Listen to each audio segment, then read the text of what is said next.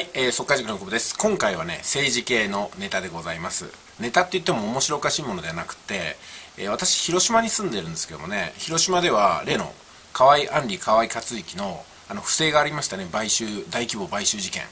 あれが、まあ今回ね、えー、2年半、不正を行ったまんま、それから広島の市議の皆さんもその不正に協力して、もう本当全面的に協力して、バレたらチンコロみたいなね、それ最もねずるい人たちが、まあ、いるわけなんですけどもそこでまたねあの自民党公明党が共同で、えー、候補者を出して、まあ、どの面下げてなのかなと思いますけども、まあ、西田さんという方がね出馬されるらしいんですけども西田さん自身にはそれほど責任はないと思うんですけどもただねこの状況でまああのどの面下げて 立候補するんだと思いますしそれを応援する人の気もしれないなと思いますよね。いや私ことさらにねあのまあ何ですかねディスるわけではないんですけどもまあ一旦休めやって話ですよね。あの少なくとも説明責任を果たさせるとかねそれから何らかの党からの、ね、自民党公明党からの見解を出すとか特に公明党さんは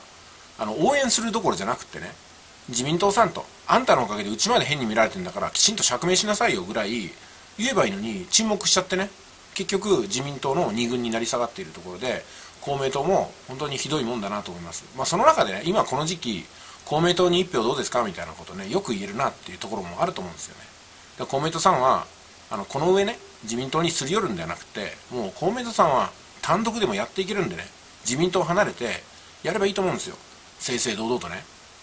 何与党でいたいがために自民党にすり寄る必要はないと思いますよ。で数がいるからっていうのでそういう下心でね自民党と組むってところがまあもそもともうねこすいというかね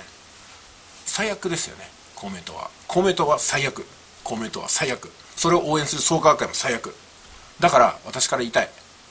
私の評価は最悪と言わ言わせてもらいましたけども期待もしてるんですよ。